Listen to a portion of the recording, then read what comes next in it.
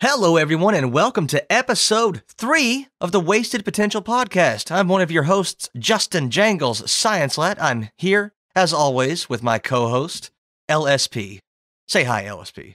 Hi, Justin. I was gonna do I the real- same joke, but it wouldn't be original twice. Yeah, I know. I, I really got to, like, give you a better opportunity to introduce yourself. No, I'm content with it, produ- uh, introducing myself like that. Yeah, I don't have near your charisma, so I'd rather just like do dad jokes when the opportunity presents itself. Cool. I'll have the modicum of uh, charisma at the beginning. I'll try to interject some not funny jokes uh, uh, while you're talking because you've actually done uh, like you like for all the podcasts. You've done all the work, all the research. You compiled the outline, and I'm just kind of here. So, in case you wanted a little behind the scenes look at how the podcast is done, You're the talent. You're you're you're the diva of this. Truly, I'm just a producer. I Um, do aspire to be a diva. So, what are we talking about today? Well, we can start with the elections. The midterms just happened. Uh, we were expecting a red tsunami, which got downgraded to a red wave, then became a red trickle, red stream, red droplets, and then Ben Shapiro summed it up perfectly. It's the red wedding. yeah, so we touched on it a little bit last week, but that was only two days after the uh, the, election was held. It was horribly Now- concluded last week. Yeah, also, so now we have a much better picture of how things have how things have played out for the 2022 midterm elections. It looks like the Democrats are going to maintain control of the Senate, which is cool. Republicans have won it, but they've barely won it. So uh, I'm sorry, Republicans have won the House. They're By a take control of the fingernail's inch. Yeah, it's a very close uh, res- difference in the House. So they really can't afford any defections. Any defections work in the Democrats' favor. Yeah, so why is this? I mean, if you look at it just objectively in a vacuum, it looks like the Democrats like lost seats. Why is this a good thing? Why are we uh, holding this up as like a, a good result from the election? Um, well, this is a blowback from the Dobbs effect. There were a number of reasons why it looked bad for the Democrats. It's an off year election. Usually, in off year elections, the opposite of the president's party is motivated to vote. Inflation is pretty high. People are feeling a little less confident about the way things are going. Uh, more and more Americans are reporting issues, uh, concerns with crime, concerns with inflation. So it just wasn't a good time to be a Democrat. And all of this happens, I mean, just last year there was this re- crazy Republican fervor over critical race theory being taught in schools. Then there was a fervor over gay people being taught in schools. So it seemed like a lot of momentum was working their way. So they really had to work to fuck that up. And how did they fuck it up? Uh, Like, by running uh, Herschel were- Walker. oh, well, even that one, that was going to the runoff. Yeah, it's so uh, the article you sent me said that this is so since 1922, 100 years, there have been three previous instances of the president's party gaining or losing no Senate seats and losing fewer than 10 House seats in the president's first midterm. 100 years, and this is the fourth time this has happened. And one of those times, the only one that happened in our lifetime, was in 2002 with George Bush. And did anything happen in George Bush's first term just that a might have influenced that? just a tiny little reconstruction project in downtown New York and Washington D.C. oh, okay. Can't can't say can't say what it was. You can't say what it was? Uh, well, if you know, you know. Um, it's scary. to- so what are your takeaways on this? My takeaways is that like I was really scared that the fear mongering that they were doing. So the critical race theory and the uh, the uh, the gay panic stuff, and right now the the horrible, horrible, horrible anti-trans panic. That stuff I thought was like feeding red meat to a very, very motivated base. But it looks like that wasn't the that wasn't most of the country. It does seem like even like the moderates and the independents and even the less extreme conservatives are kind of getting sick of hearing about you know, why are you focusing so much of your campaign on trans people? Why is that like why is this they, they see it for what a lot of them see it for what it is. It's it's virtue signaling. And this notion that god damn there are so many election deniers, I think that turned a lot of people off too. Like election deniers did way too good in the election. That it that's still bad, but all of the election deniers who were like going for uh like election councils, like to, to be head of like an election council to control to oversee elections, I'm pretty sure almost all of them lost. And after two, you know, close to two years, not about two years, uh, since you know the 2020 election, there has been no proof that the election was, you know, the election was stolen. There's no no proof of widespread voter fraud. There's there's that Dinesh D'Souza film. there is that Dinesh D'Souza film. If that And doesn't I'm- prove it, I don't know what does. I guess not. we gotta watch that someday. Uh, we'll do a live reaction to it. Um, To a li- I'm not sure I'm convinced. So your hypothesis needs some refining. I'm not sure I'm convinced necessarily that the red meat didn't work. There's a lot of hungry carnivores out there. Uh, they don't like trans people. Uh, I have no doubt a lot of this stuff was a primary motivating factor in getting these people out there. The election denial stuff, however, might have been more of an issue. So I recall seeing a poll a while back, and I wish I could supply it now, but there was a poll that said that the average voter trusts Republicans more on the issue of education than Democrats. And this comes after like two years of Republicans fear mongering about patriotic education, critical race theory framing white people as oppressors, uh, and you know, of course, the, there's pornography in our school libraries. All of which is untrue, but it's enough to convince the average person who doesn't read anything that Democrats have taken over schools and they've they've turned it into a uh, a, a cultural socialization project. So I, it probably has more to do with the election denial stuff that the people they get to run on denying elections. Election denial is not particularly popular, but people they get to run on that tend to be ele- election deniers. And that's because there was a litmus test in the Republican Party uh, on whether or not you could win your primary was based on whether or not you would agree that the 2020 election was stolen. To this day, we are we're more than a week removed from the election. Kari Lake has still not conceded the governor's race in Arizona, uh, and it looks like she's setting up a contest to say that it was in fact stolen. Yeah, and I want to know what the evidence is. Like, what what's some of the evidence that she's put forth?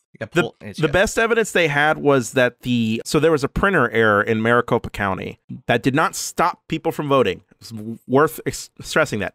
People were allowed to vote, right? The printer error didn't disallow people to vote. It just required them to submit their ballots in something called like box 3 or a secure box, right? So that their Mhm. their votes would be counted later at a different location. That is like the error that I can think of. The other error they seem to have, well, uh, not an error, just the fact of the elections, was that lines were long. Now, what's funny is now they've discovered that long lines are an issue. Democrats have been bitching about long lines going back since the repeal of the pre-clearance formula from the uh, the Voting Rights Act. So that the Supreme Court struck down the pre- pre-clearance formula of the Voting Rights Act, and immediately Republican legislatures all across the South, because of course it's the South, started closing down polling places in predominantly black neighborhoods. So that resulted in, in really long lines, exacerbated line issues, uh, where lots of people had to stand in line for hours just to cast a ballot. Republicans got a taste of that, but I don't think it's because polling places were closed uh, in Republican leaning areas or anything like that in Maricopa County.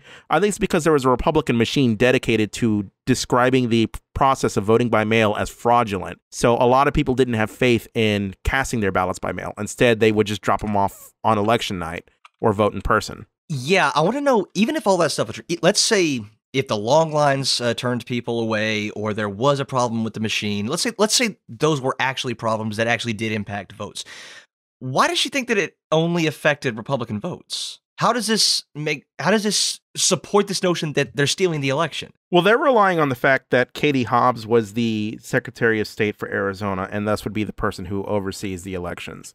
But there is no evidence. Like Maricopa County's like elections board is Republican. Uh, the chairman of the Maricopa, Maricopa County Board of Supervisors is, is is a Republican. He's been critical of this idea that anybody's slow rolling the ballots, and he he provides a number of reasons for why the results were going so slowly. So the Washington Post provides a, a good litmus on this. Voters are voting in person more. They're dropping off their ballots at a polling site on election day rather than by mail. They they uh, this is up 70% from 2020. Signatures are are required to be verified and checked by bipartisan teams, which takes time.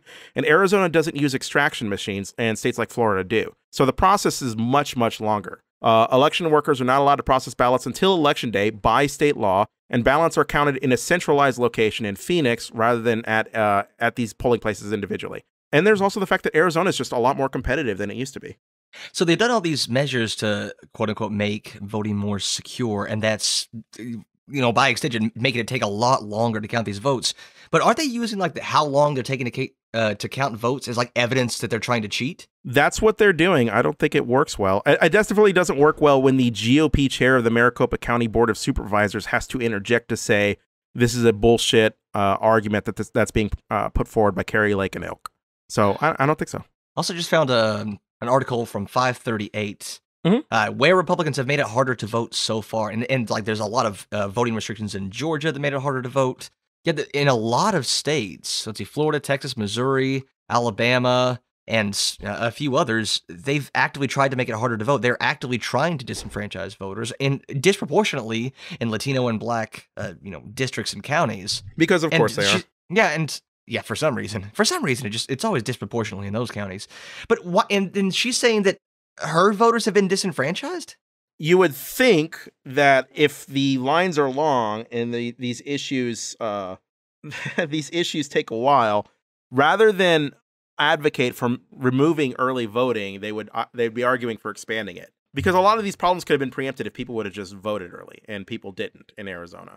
Uh, so we, we kind of got a a re a redux, a retake, a redo. I don't know what word you would use of the 2020 Red Mirage, where it appeared um, promising for the GOP early, but as votes continued to come in, that changed, and that was more or less the case with this election again.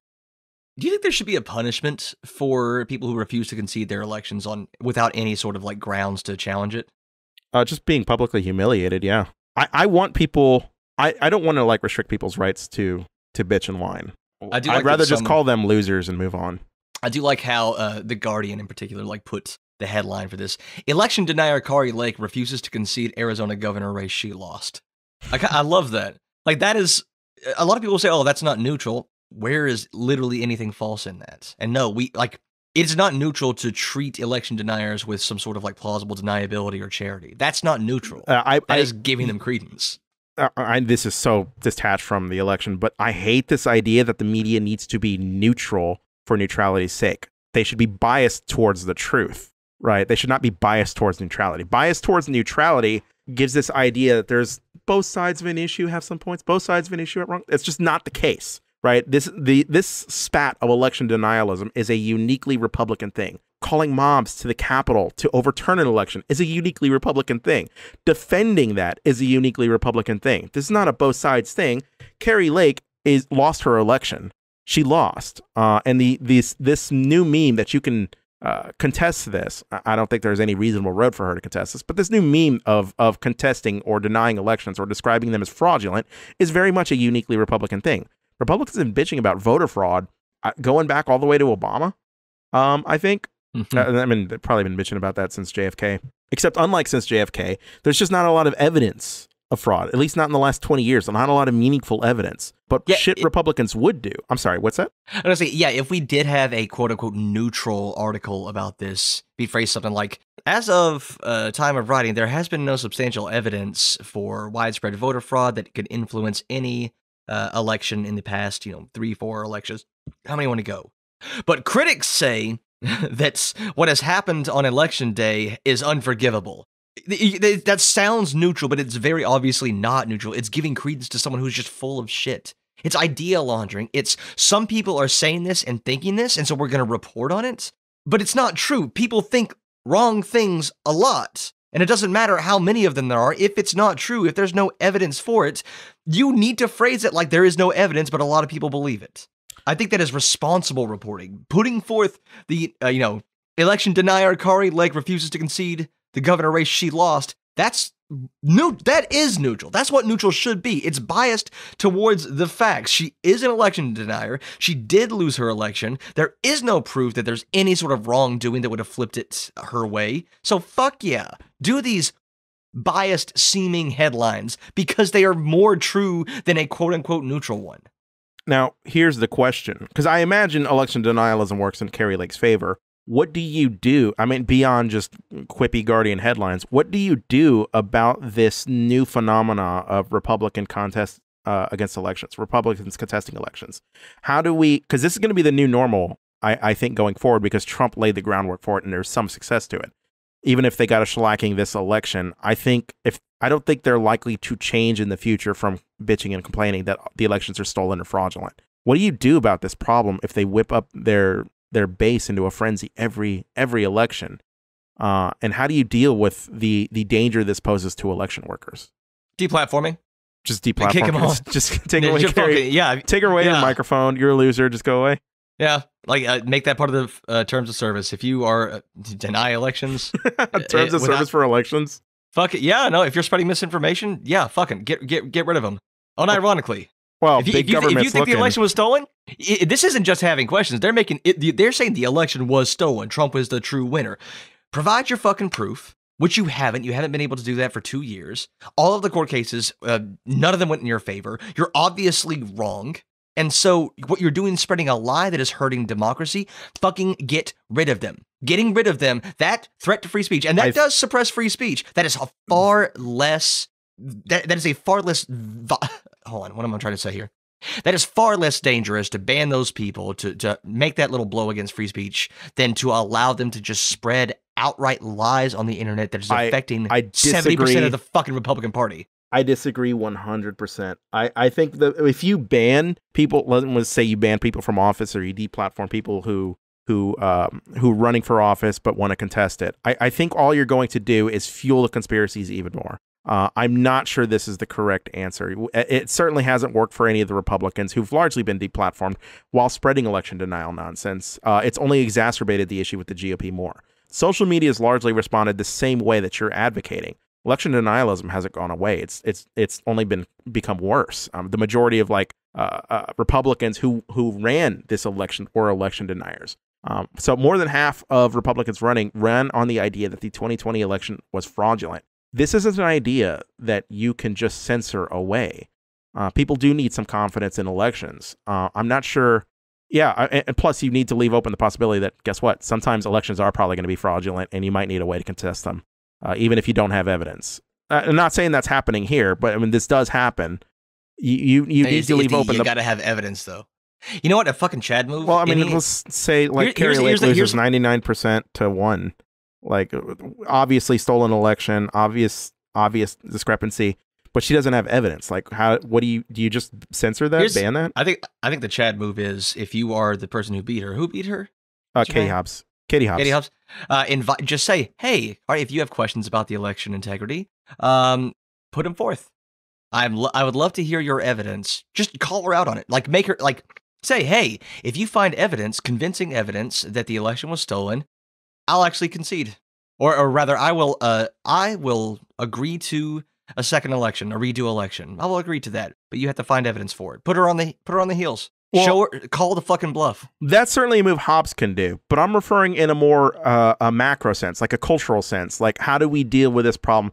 There's there's a million Katie, Kari Lakes out there. Like, we we have to deal with this this phenomenon, not this person. Trumpism is here to stay. We need to deal with Trumpism. We need to take Trumpism as it is and handle the idea that it's not going away, and we can't just censor it away.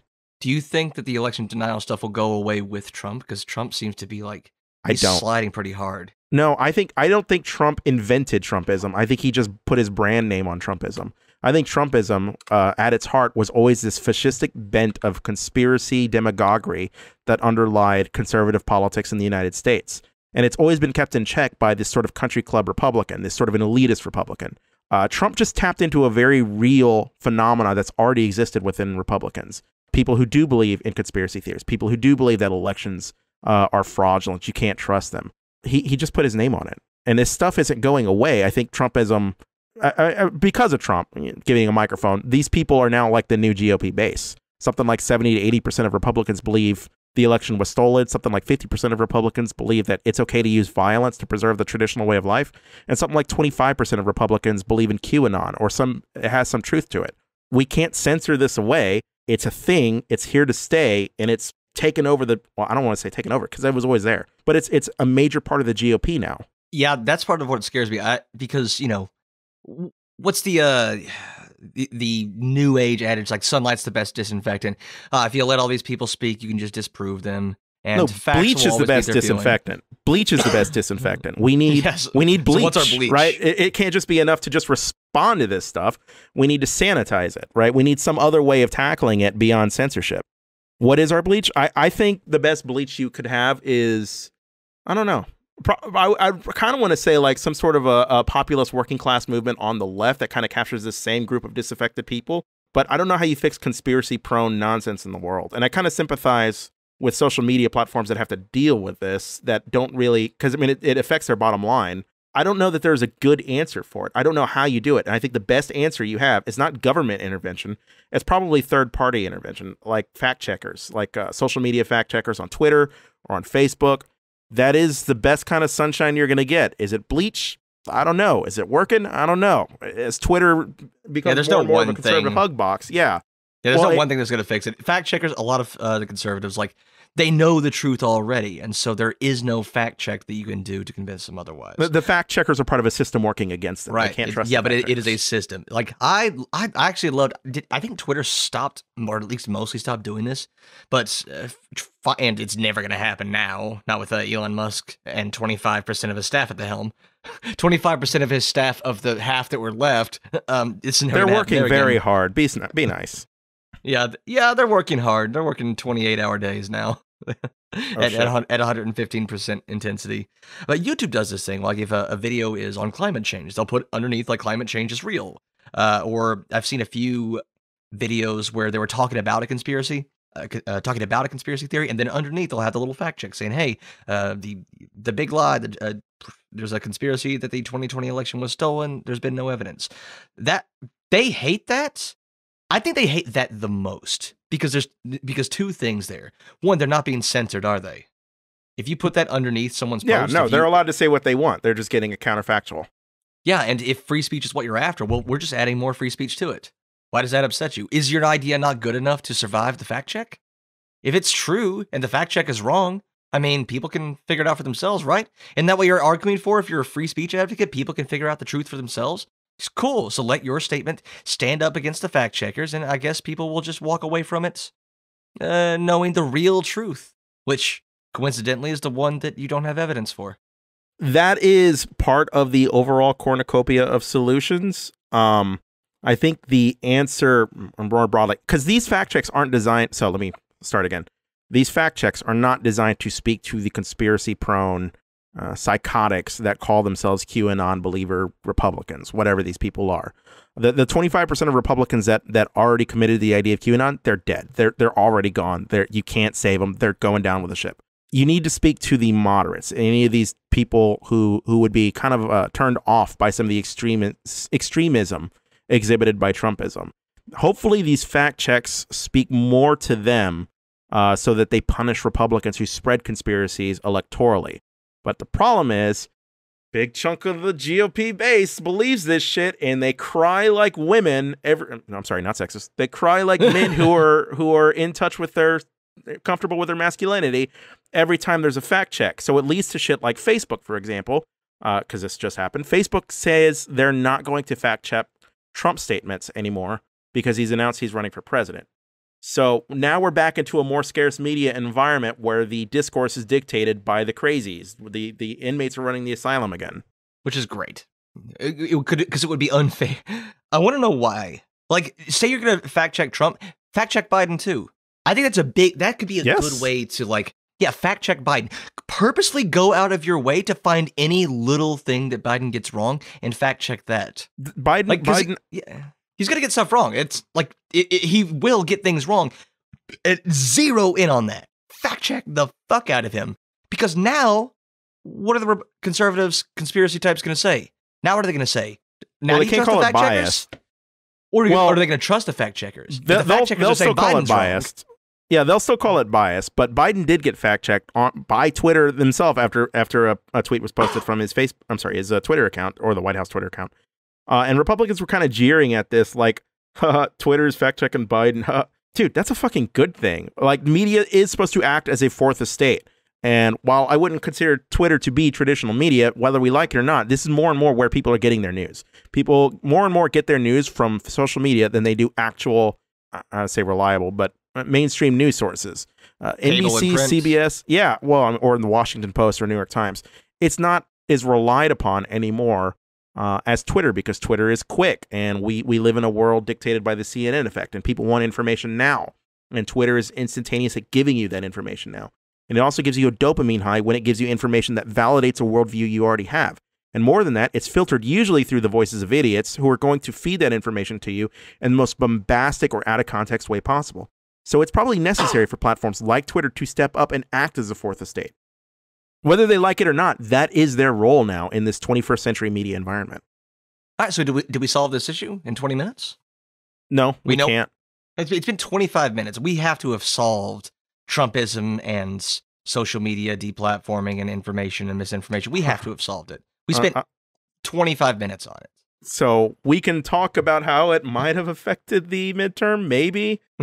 Because uh, Nancy Pelosi brought up something that uh, that I I wondered last week, and I, I still muse about. Um, but Nancy Pelosi claims that people are voting against Republicans because of political violence from the right. How true do we think that is? Because again, I I think last week what I said something to the effect was uh, if if I'm some sort of a disaffected moderate, I might look at these motherfuckers celebrating the attempted assassination or not assassination, kneecapping of the third in line to the president and posting pictures of underwear and saying, huh, look at my Halloween costume.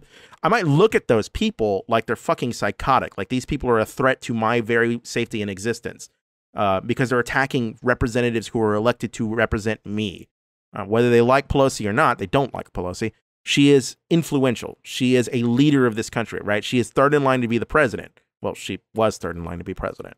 So, I mean, like as a disaffected moderate, I might be a little turned off by the celebration, the overt celebration of violence that goes on from the right, or the overt uh, apologies for violence that goes on on the right. From the party that claims themselves to be law and order, you cannot you cannot make a mockery of of a of an old man getting bludgeoned with a hammer, or you you can't say shit like I'm going to pardon the rioters who tried to overthrow democracy, right? Or or or or even celebrate people who do ads where they're shooting targets saying, I'm striking fear into you, liberals.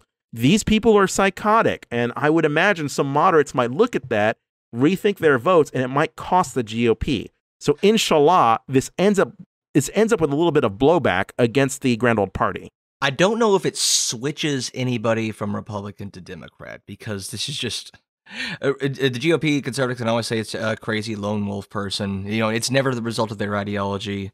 Uh, and if there's, but if there's a terrorist attack, like if the Bernie Sanders supporter who did Steve Scalise, uh, they identified uh, it's Bernie Sanders and his ideology. That's the reason Scalise was targeted. And Democrats, it was probably a bad move politically, but it was at least the honest thing to do. Is like, yeah, this dude was motivated by a certain ideology. Republicans don't take ownership of that. I don't think it switched anybody because you know independents are probably the stupidest voters, but I don't. I don't. There's no data uh, to support that, but it's what's in my heart so, so I'm the one spreading misinformation. I don't think it's switched anybody who's already drank the Kool Aid on this. But it might have motivated someone who might not otherwise have voted, who who was already leaning Democrat. It might have motivated them to uh, cast their votes when they otherwise. That's wouldn't. possible too. Um, I, I I try to go easy on the poor independents. They're they're stuck on a fence.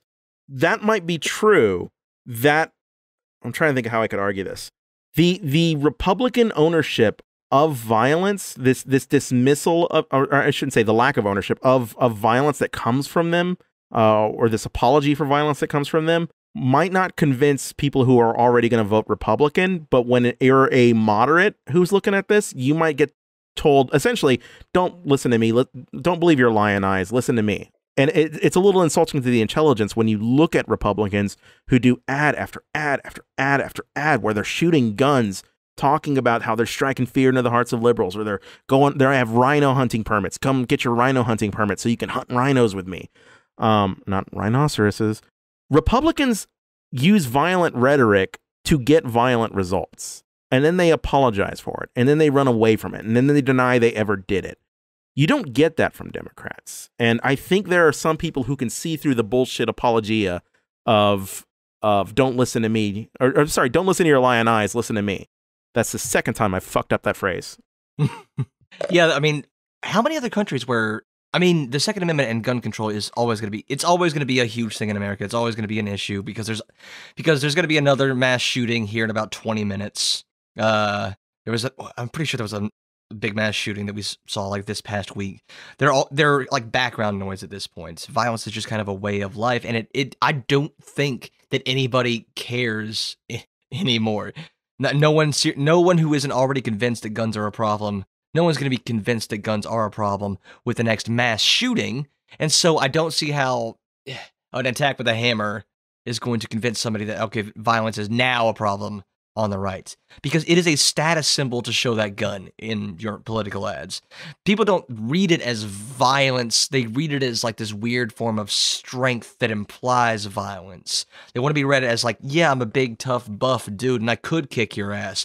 I want you to know that I could kick your ass. I could beat the shit out of you if you if you provoke me. That way I get to be tough and uh tough and dominant without actually getting the blame or negative pushback that comes from actually being violent. And so violence is kind of baked into all these gun messages. That's what guns are for. Guns are for violence.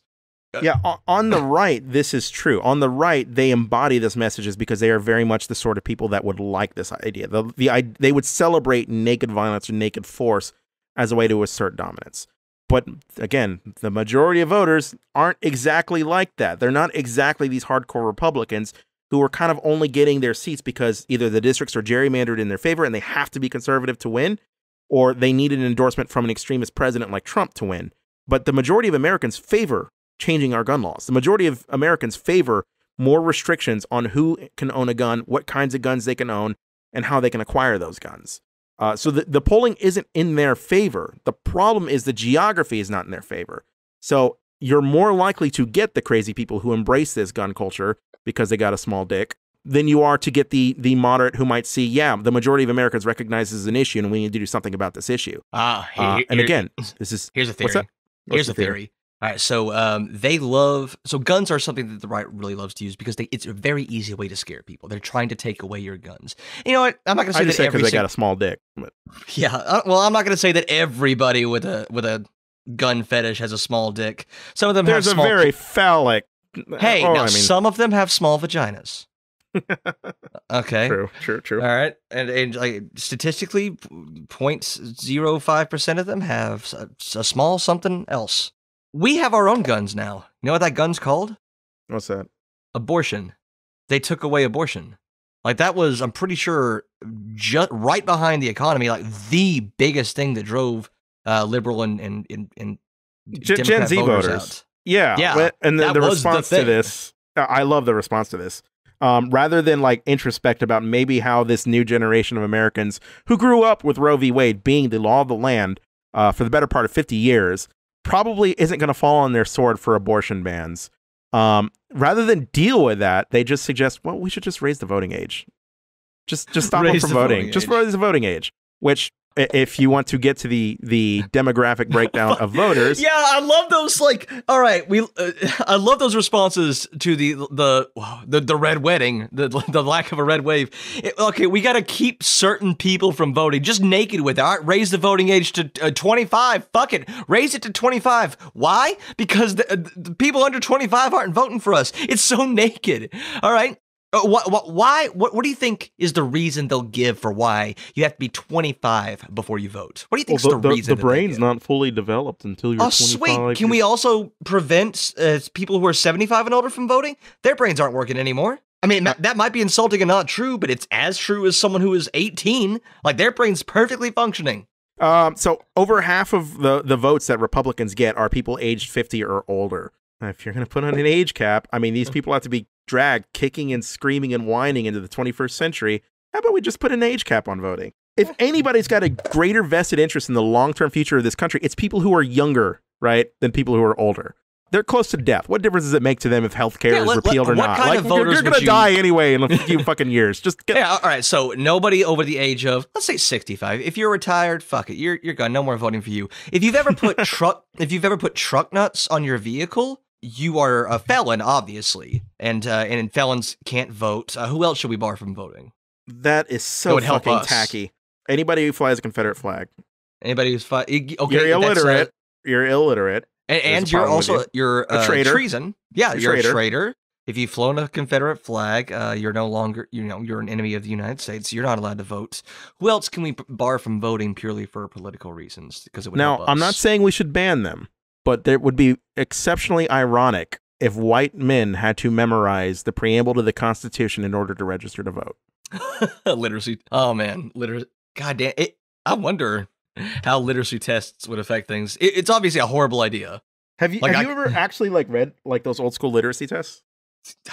Once. I know I've read them. I just can't remember what they're like. They're entirely nonsense. So one is like you need to memorize the the the parts of the Constitution and recite them from memory. Others are like you like draw word for word. Draw yeah, word for word. Draw you can't three. Just say Second Amendment. You can't just say Second Amendment. That's about uh, nope. uh, right to bear arms. Nope, dude. You think they're gonna let black people vote with like that?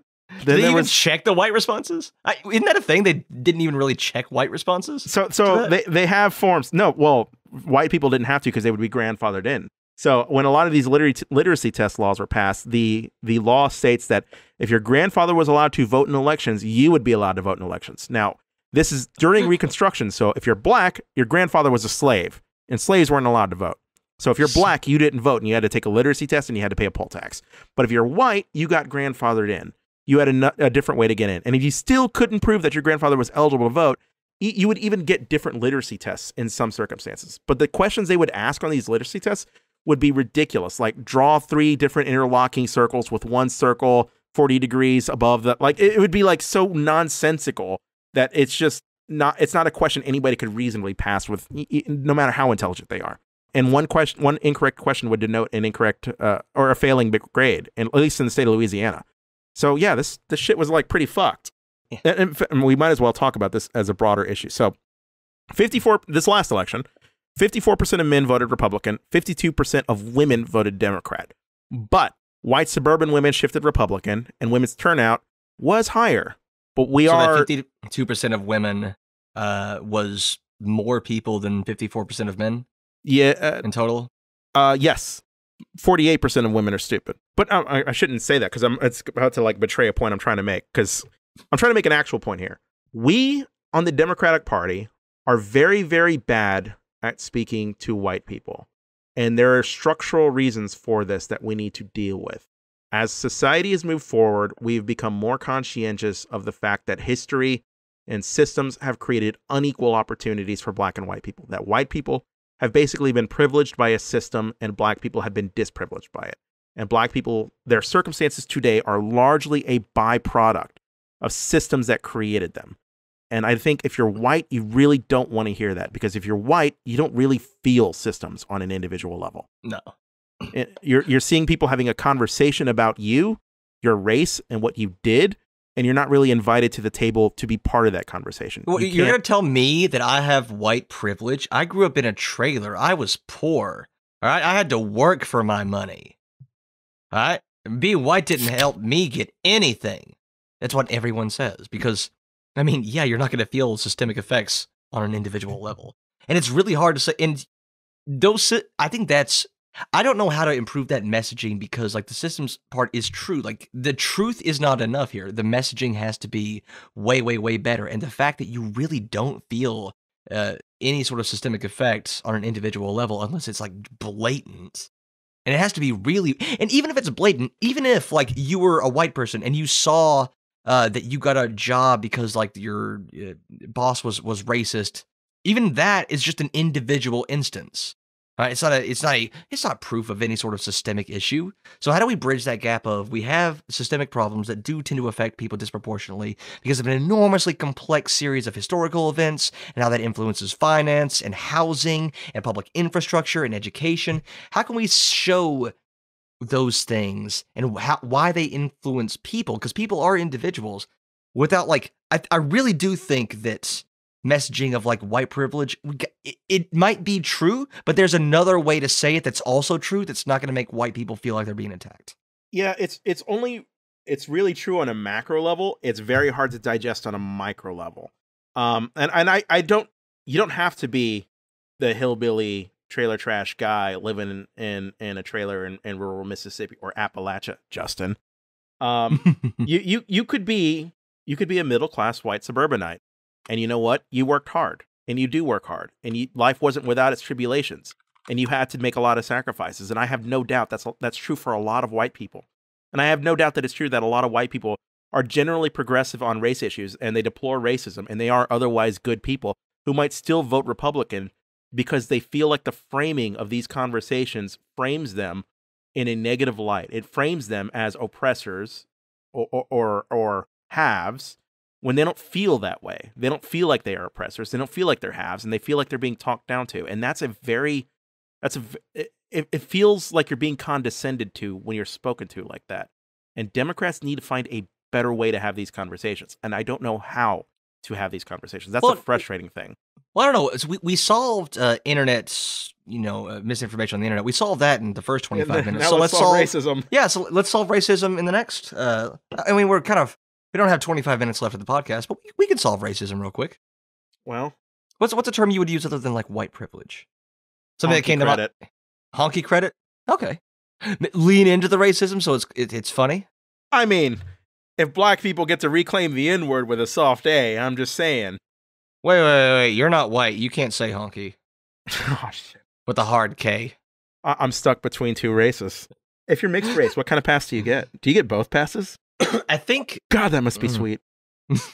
Do you get both, or do you get like half of each? I feel like if you're a gay, trans, mixed race person, you are like unstoppable. Like you get everything. Yeah, yeah. I'll- I mean, we obviously know that the people who have it the best in society are the the gay, the gay, trans, mixed race people. yeah, man, they're the ones with the real privilege because they get to. I mean, who cares about like housing and discrimination stuff like that? They get to say all the all the fun words. When when when is when are the white people going to get a break? When are when, yeah? I, that's what I want to know. When are we as white people gonna get ours? when you buy Twitter. So let's talk about Twitter, I guess. when I buy Twitter, which or or we know, could we could mention well, there is an education gap. So maybe the answer is just building smarter white people, and that sounds like so condescending as a way to put it. But Republicans tend to dominate high school diplomas, and Democrats tend to dominate college graduates. College graduates vote Democrat. Republicans and high school diplomas vote Republican. So the answer really is let's just fix our educational system so that white people have more opportunities in life that they can recognize how the system privileges them. Oh, so you want to indoctrinate children? Ironically, though, that creates a catch 22 where they have to be privileged more by the system to recognize that the system privileges them. yeah, yeah. A lot of the racism stuff, like that. That is for everybody. Like all of the. Hold on, I need, I need to back up a bit. Uh, indoctrination is is a nonsense word. It doesn't mean anything unless you're in a cult. You're not indoctrinated. If uh, teaching critical race theory in school, if that's indoctrination, well then America First education and patriotic education is also indoctrination. In fact, more so. When you think of indoctrination in other countries, you're almost always thinking of like them venerating and just glamorizing. And what's another word that I'm thinking of? Uh, Pull up a. Th- you you know words. You have all the best words. I'm a very stable genius, but I don't What have does- what does North- indoctrination. How does North Korea treat Kim Jong Un? Like a dear leader, truly a dear leader. Deify. Deified, yes. I think Yeah. you kind of get this from a lot of Republican uh, personalities. So, Yeah, I- we, we recognize we recognize that like them deifying their leaders is bad. That's indoctrination. But we sort of deify like our like founding fathers and how many people de- deified Trump and just do like gloss over any bad thing in our history. That is indoctrination. Questioning your country's like bad things that it's done. That's the most fucking eh, that is the most free you can possibly be. When you can talk shit about your own government, your own history, that's the sign of a free country. that would be, except when you do it and then you get imprisoned in Russia for like half a gram of, not even half that gram, like a oh, little bit of, of hashish oil. yeah. Brittney Griner well- wasn't a Brittney Yeah, Griner wasn't a topic, but let's let's mention that real quick. How fucked is that? It is Hey. insanely fucked that another state is abusing their sovereignty against an American citizen, and people who proudly wrap themselves in the American fucking flag are celebrating a person being taken as a slave. It's disgusting. So, patriotism is recognizing your country's flaws and dealing with them. Patriotism is not deifying flawed individuals, it's recognizing them as flawed individuals and dealing with it. And Republicans don't do that. So it used to be the case. So I'm stealing a Bill Maher quote here. It used to be the case that Democrats need to fall in love to win elections, and Republicans need to fall in line to win elections. Republicans would fall in line. They're very strict and hierarchical. Now that you get both, Republicans absolutely build personalities, uh, uh, cults of personality around people. They did it with Trump, and they do it with any number of these these talking heads uh, that are leaders in the Republican Party. And they do it because Josh Hawley, the, Matt Gaetz. And they do it because the enemy of my enemy is my friend. They focus on what they hate, what they're against, what they need to fight. That's fight, fight. purely how they define themselves. Yes, as an antagonism to something else.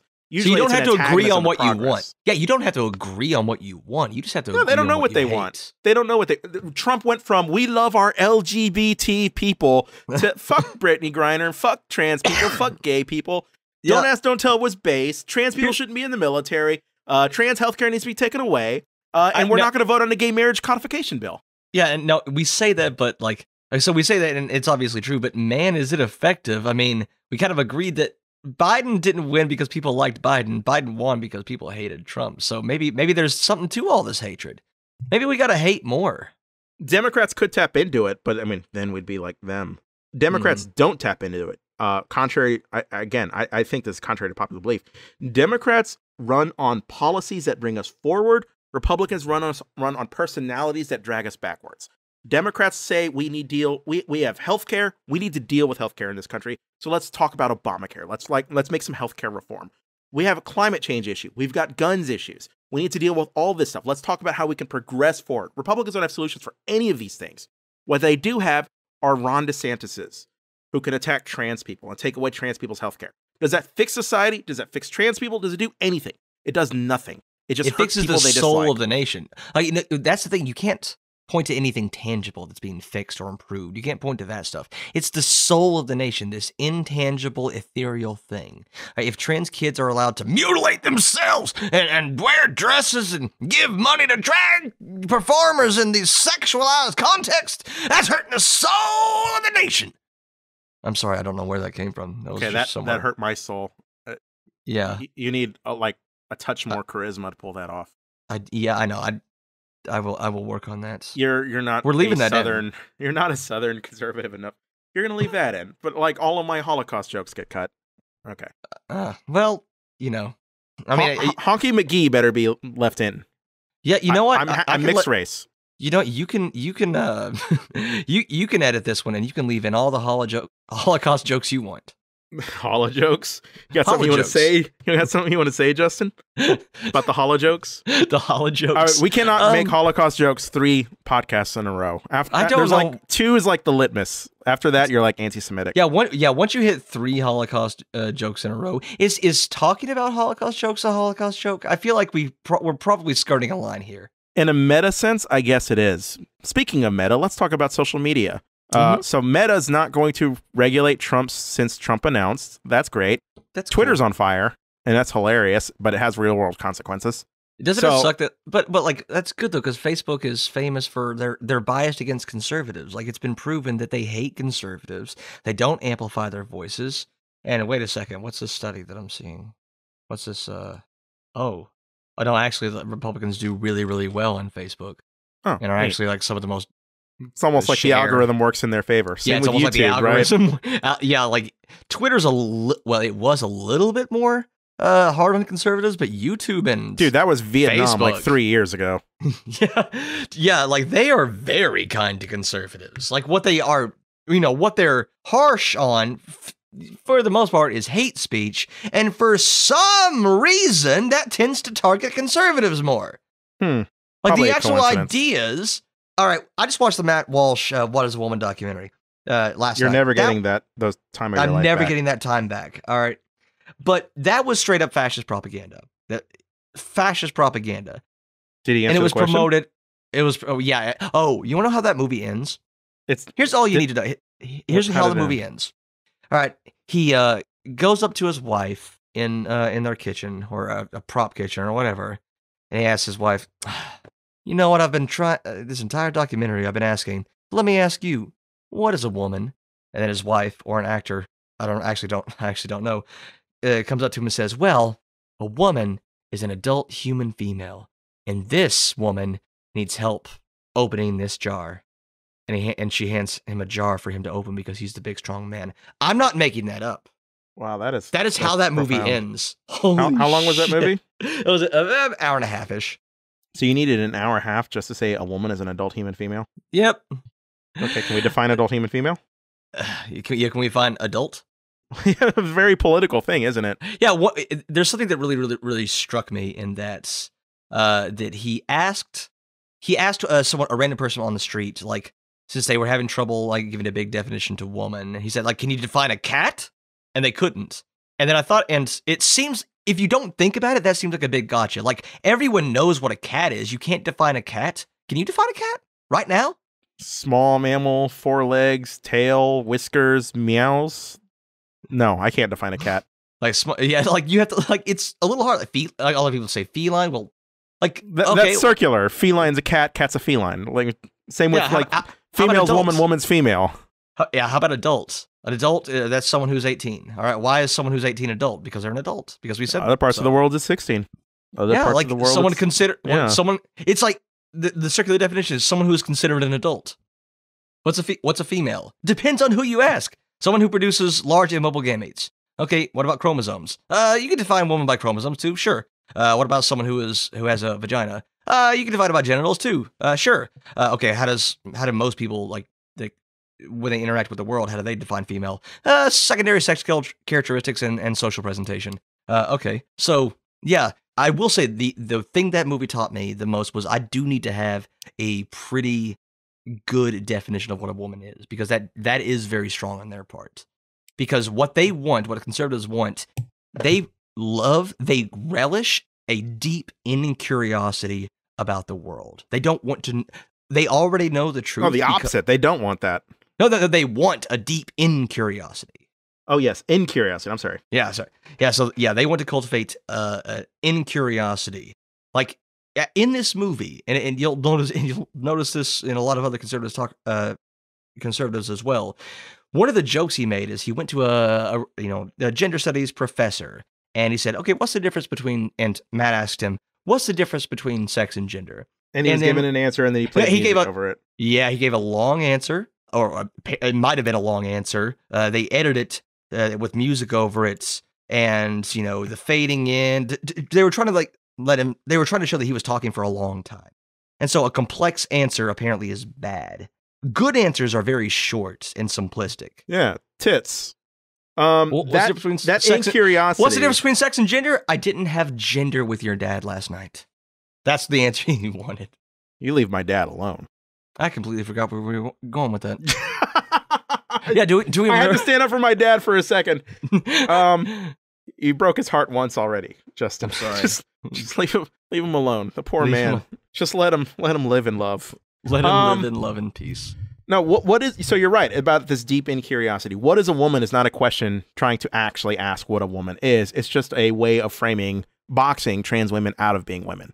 But if we take this definition that, you provided earlier, this biological definition, we can define a woman by gametes, the production of large gametes, chromosomes. We can define them by the presence of a vagina, so sex organs, presence of a uterus, and presence of secondary sex characteristics. There are conditions, such as Swyer conditions, that do not allow women to produce, people who look and identify as women, who do not allow women to produce large gametes. There are conditions in which women are born without vaginas. They actually have to have one surgically crafted. Uh, there are conditions where women are born with XY chromosomes instead of XX. And, and I say women because they look like women, they identify as women, they seem to check every box that would make They were them assigned a woman. female as birth. They were They were assigned assigned female at female at birth. Yeah. and they identify with that.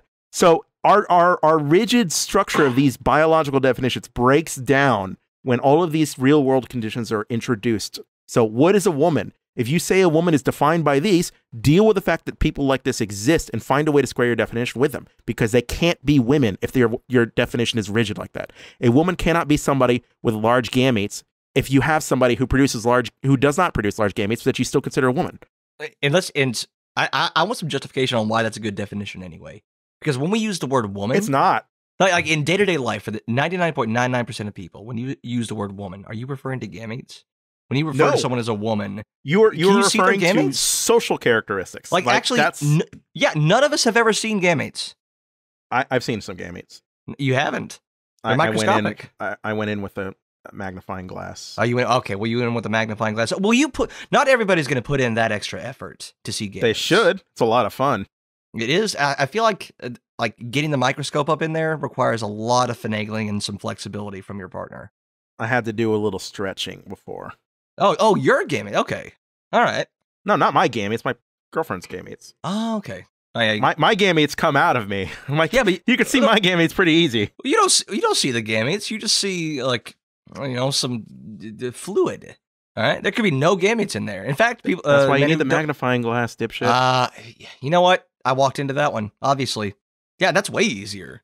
Yeah, so I, I guess a, a better structural definition for what is a woman would just be somebody, a person who possesses the characteristics associated with the female sex.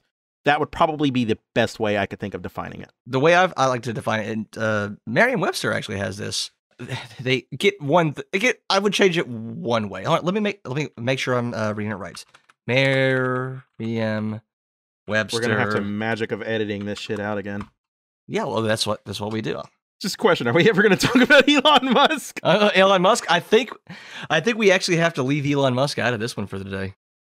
What, the world needs to revolve around Elon Musk. He's tweeting at Stephen King. Man, can we? We can't talk about how funny it is. Eli Lilly lost billions in the stock market. Fifteen billion dollar loss in market cap because of a fake Twitter account. okay, this has Elon nothing Musk to do with literally anything. walked into Twitter with a sink. Uh, okay, but yeah, let's go ahead and talk about gametes and women and bitches. Uh, no, I I really want to. I have. right, I went here for answers, but I have several more questions now. All right, so Merriam-Webster and Dictionary.com both put the first definition of woman as an adult female person. So not an adult human female, uh, an adult female person. And you know, I'm fine with keeping that, right? Like Mhm. definite like words have lots of definitions because words are complicated. But then on dictionary.com, the fourth definition is I don't know if this is right, a woman who is a servant or personal attendant. I have questions.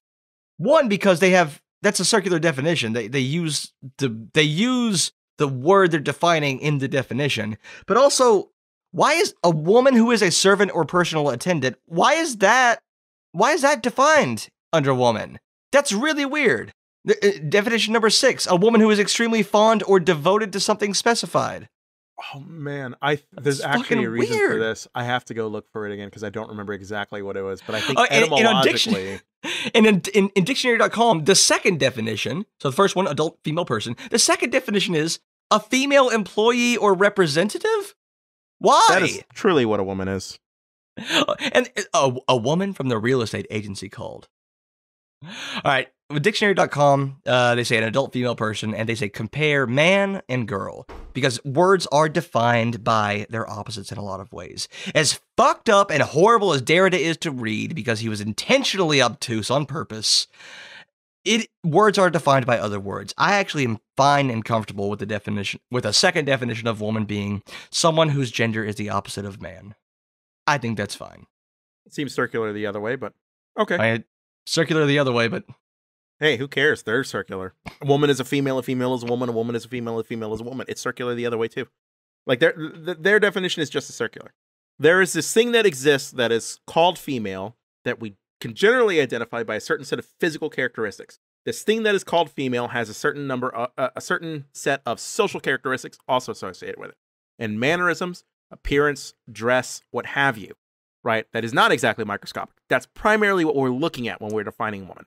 I, I'm perfectly content just to say a woman is a person who possesses or wishes to possess uh, the the the characteristics associated with the female sex, and not all of them necessarily, just any of them, some of them. someone with a primarily feminine gender. There you go. Yeah. What's feminine? Woman. What's woman? Female. Yeah, I was like, yeah, We'll do it the other way again. I was like, it, it literally every if they try to catch you on that, literally every every definition can do that. Like you can Anyway, so- literally every definition. So So anyway, we're coming up on an hour. Do we do we want to get into Elon Musk? Do we, do we want to hit him for the third week in a row? Because by the time this po- by the time this podcast comes out, we're usually like a you know we record it on a Thursday and we release it the next Thursday. By the time this podcast comes out, Twitter might be on fire. by the time this comes out, Twitter might be gone. That's why you talk about it while you can. It's it's very relevant to the now. It, it could be ancient history in a week. You know, it seems relevant to talk about all of right, the crazy shit that's happening. All right, let's do a rapid fire. Rapid fire Elon Musk greatest hits in the past week. What's your favorite thing that he's done in uh, in the week since we've last talked about him? What's what's what's, what's your uh, what's your favorite thing that he's done? I, I could tell you something that made me feel like sad for him. Um, like because I legit think he's autistic. I think him tweeting at Stephen King that I'm a fan of your work after Stephen King is roasting him on Twitter and then deleting it shows that he's he suffers from some like communicate. He has like a communication deficit. He suffers from an ability to communicate or read people. And that's not to excuse or apologize for him being an asshole because he is an asshole in more ways than one. But I think maybe it might like exacerbate it, you know? Like maybe if he didn't have some underlying autism. I have no idea if he does. I'm just saying like that's my read from that tweet. So him tweeting at Stephen King ghost emojis, then saying I'm a fan and then deleting the tweet, like actually like hurt me because it looked like It looked like he was just trying to to reach out an olive branch and then just got rejected. And I think we all know what that's like, and that hurts. Yeah, but uh, unfortunately, not, not all of us can like uh, step away from the computer or, or whatever holographic image he uses to, to to browse Twitter for ten hours a day, uh, and we can't fall back into a bed of money. That bed of money certainly helps. I, here's the the better one, I suppose. He did get into an argument with one of his own engineers on Twitter, uh, and then fired him on Twitter, which is funny because he wanted to blame him for Twitter running slow, and I, I guess he didn't understand what he was doing. So He the doesn't person know what the like fuck he's correct, doing. yeah, of course. So then the He, he put rockets into space. He can. Love. He, he put rockets into space. He he he can figure out how how. I think he probably hired works. somebody to do it, and he should just he let s- the people who yeah, are experts at this talk. Didn't he say that? Like he's like, I'm pretty sure uh, I know more about this than somebody who's done coding for a couple of years. Like he doesn't know what the he obviously doesn't know what the fuck he's doing. Why isn't Um, he doing the coding if he knows so much about it? Probably the richest part about it. So there's there's always two reactions to this. Um, it's either people who are mocking Elon or people who are mocking the, the Twitter person who just got fired. And some were saying something to the effect of, well, if you're gonna roast your boss publicly, you know, instead of sending a private email or anything like that, like, you know, you're not you're not exhibiting any kind of loyalty. Yeah, of course you're gonna get fired. Why would anybody want you around? You, you're not you're not a team player. Elon hasn't been a team player. Elon fired people when he took over Twitter and didn't tell them. They had to find out when they couldn't log into their emails or their computers. He's created an environment where roasting him on Twitter and then getting fired for roasting your boss on Twitter could be very good for your career. He's so hated. yeah, he's so hated and is just so incompetent that publicly addressing that, that person's going to be picked up now, right now. They they just got picked up. I'm Yeah, I and to to their credit, I don't know why anybody would exhibit loyalty to a boss that shows no loyalty the other way. I don't like if he's firing people who don't even know they're fired, and then calls them and it's like, "Hey, I re- I realize I need you back because I need to do something else. Come back." Like, dude, I'm flipping you off on my way out. Fuck yourself. Like, you just took away my job. And You want me to now, help you? yeah, you fired half of your workforce, and then with the half that you got left, you're telling them that now you have to work way fucking harder. The intensity needs to be through the roof. We need to be hardcore. Did that accompany a pay raise for any of these employees? I have no idea. it, I think I feel like we would have heard about that. But if you're demanding more work for the same pay, if you're the richest man on earth and that's what you're demanding, I I, think I would this be going to the competitors. Yeah, I'd be looking for jobs at, at Instagram or, or uh, Facebook. I'd be sh- I'd, I'd be leaking secrets. I'd be leaking everything. Well, I assume they signed NDAs. I don't think they can just leak secrets. But I would be I don't I wouldn't care. I'd be black. No, no matter what legal trouble Okay. I went through. I think that would matter quite a lot. Firstly, you would go through legal trouble. Secondly, why the fuck would anybody else hire you if you're just going to leak secrets on your way out? Why would Facebook hire you? Cause fuck Elon Musk. Okay. um, I, there is one other thing I want to talk about, and then we can kick it whatever way you want. Elon is v- so. I think a lot of people. So I, I we spent the last I don't know ten years with the right saying learn to code, learn to code, learn to code to journalists left and right. Um, and they shit on humanities degrees, and they say, "Oh, you don't need art, you don't need music, you don't." Like they they've they've found so many different ways to castigate people who pursue any sort of a humanities interest, and they favor STEM. Now you have people who work put in the work to get STEM degrees, people who put in the work to be engineers or coders, uh, who are working jobs that would be required of a 21st century economy, basically being laid off by a billionaire without cause for no real reason other than they work at a at, at a company that that conservatives dislike. Right? They don't know any of these people as people. No, they don't understand any of these people as persons. They've never met them. Um, but there's a celebration, this sort of a naked celebration of this from the right that is very is very classist and, and it's like almost disgusting because these are people who did work hard these are people who who put in the work to be the people that republicans keep wanting people to become and their jobs are just lost. They lost their their livelihoods.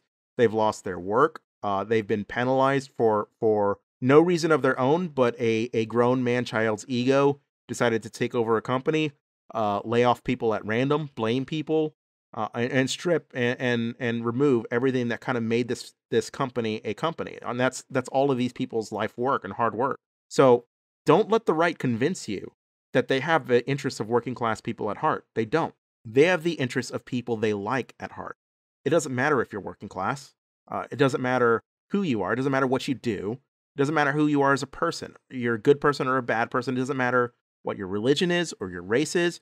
It just matters that you are the opposite of what it is they like in any given day. So if they Whether- like Elon and it's any given day, if you are opposite to that, they're good to see you hurt.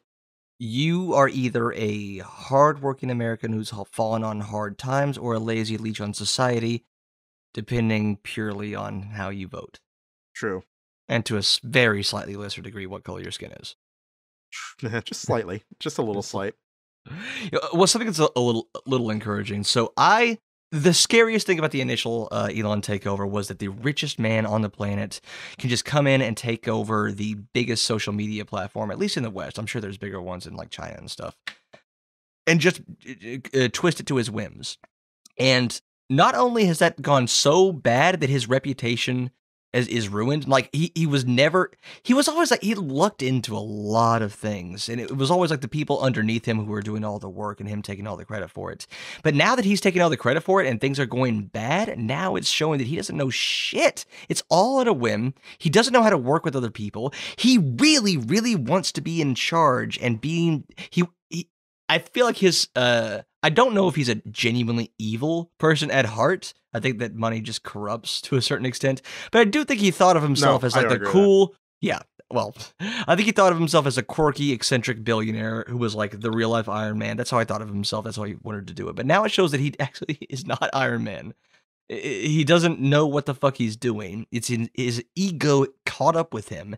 And now he's losing more of his workforce.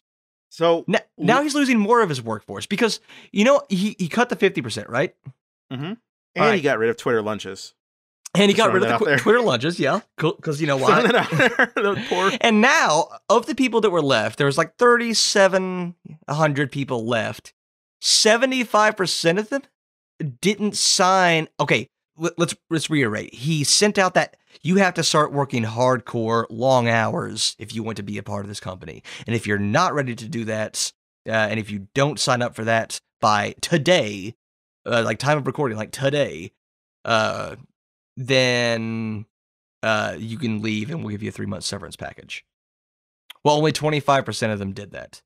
Seventy five percent of those thirty seven hundred people who are left didn't sign it, and it were past the deadline. And so he tried to pull his weight, like he tried to threaten their jobs, and now he's slowly realizing that he can't run this company by can't do it on a skeleton. He's crew. actually the least important person here. Not only, actually, he's the most important in terms of how much harm he can do, but he is the least important in terms of how much Uh, good he can Odd, do. oddly enough, he's very much a passenger on this ride. Um, just just to quickly correct something. This is a, a thing. So we might have a fundamental disagreement here. Have you ever heard of Lord Acton's axiom? Nope. Lord Acton's axiom is a statement that uh, power corrupts and absolute power corrupts absolutely. So when you say like, well, Elon got a lot of money and that might have corrupted him, I don't agree with that. I don't agree with that at all. I don't think power corrupts. Power reveals. Power reveals who you are and who you were always meant to be. It just who who you could be when you had the power to do whatever you want reveals what you've always wanted to do. And in Elon's case, it is to bully his way to the top.